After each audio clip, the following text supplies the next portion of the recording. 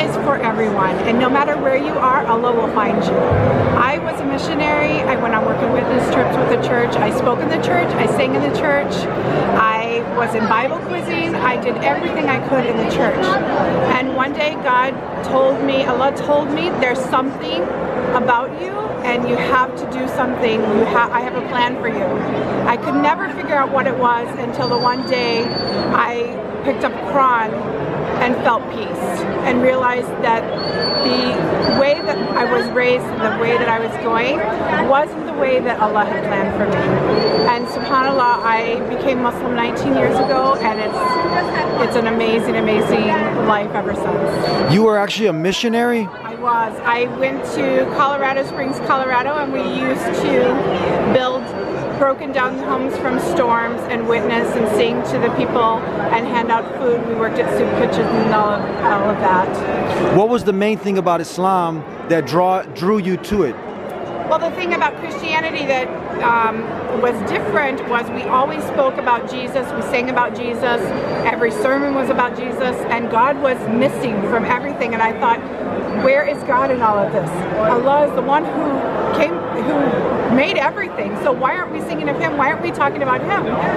So when I started reading and seeing all of the things about Allah and everyone is worshiping Allah and the, the five times prayer, just focusing on Allah, it meant so much to me.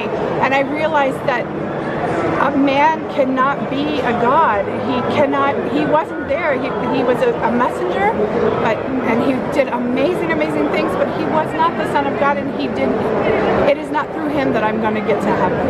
It's through Allah. Do you still love Jesus? Absolutely. I mean, how could you not love the messenger that Allah sent and shown all of the people at that time right way to live? And just because it got a little bit construed along the way, it doesn't mean he wasn't a prophet, he wasn't a messenger. He came to teach and show the people at that time, but he's still relevant today. And subhanAllah, you know, Allah sends everyone when they're supposed to be sent. And I still love Jesus. I just realized he's not the Son of God. He's not my Savior. He's not the one who's going to get me to Jannah. Only Allah can do that. Only following what Allah says can do that. When people hear this word Allah, it's really strange for them. Can you define when you say Allah, what do you mean? So Allah is God. It's just another way of saying God. It's how it's said in Arabic, but it is God, the one God. There's one God. There's not many gods. There, people can put names on everything, but Allah, God is. I mean, He is the the being. He is the, the one who made us all, who created us all, and so it is nothing different. It's not God and and Allah is two different people or two different two different go gods. It's there's one God. Allah. Can you just briefly talk about the hijab? Did, did Jesus' mother wear what you're wearing, this Absolutely. hijab? What pictures don't you see? I mean, where have you seen any picture of Mary with her hair? Who knows what her hair looks like? Every picture is of her in hijab. In hijab, even in the Catholic Church, the picture of Mother Mary is in hijab. She's not without hair or with her hair uncovered. So, I mean, why if you're following her in other religions and everything, so why is hijab so different because you're Muslim? I mean, you should recognize that throughout. For people who think that Islam is synonymous with terrorism and violence, what do you say? It's so far from the truth because Islam does not even allow you, you shouldn't even break a branch of a tree.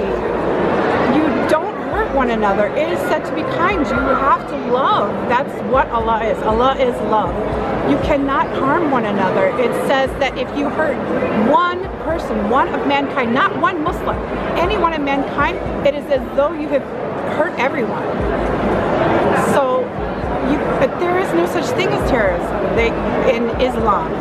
People say in their way, in what they may think, but that is not Islam. Islam is peace. Last uh, suggestions for anybody who's looking into Islam, but they're kind of scared, like with their family or the pressure from society. What advice do you give to them? How did you overcome that? Isn't always easy because you will have family who doesn't accept, or who doesn't agree, or who doesn't know anything about Islam. It's scary. All they've heard is what they've heard on TV. And you have to just good masjid, have good support, good community. There are so many out there. Gain Peace does a really great job. All the different masjids that you're involved in, make sure that you have backup and community.